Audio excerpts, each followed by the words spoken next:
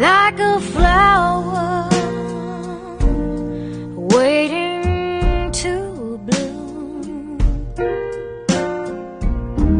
like a light bulb in a dark room. I'm just sitting here.